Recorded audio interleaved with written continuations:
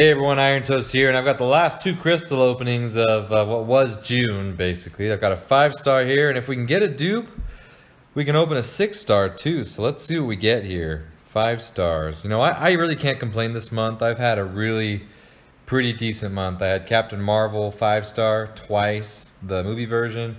I had a five star Sentinel. I duped my six star Hood. I got five star Iron Man Infinity War. It's been pretty good. So regardless of what happens here, been pretty satisfied so far. What are we going to get here? What are we going to get?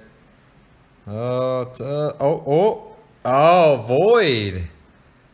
Void, a dupe, duped my Void. You know what? That was actually the last good pull I had before a pretty long stint of no good pulls. So finally duped the five-star Void. Thank goodness. Yeah, I'm going to start uh, putting some signature stones on him, and boy, he's probably going to be my next rank 5, to be honest. Um, I need a good science champ up there. So that gives us enough, the dupe, thank goodness. So let's crack open a 6 star. This will be my ninth 6 star. Actually, it'll be the 10th, because one of them was a duplicate. So this could potentially be my ninth one if it's a new champion. So let's spin away.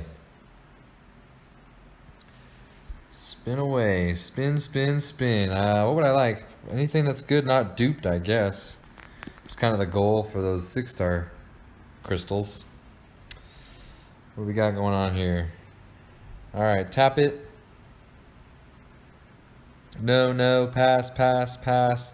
Ooh, yes. Uh, oh, ooh, it almost landed on that Symbiote Supreme. So what do we get here? Mephisto.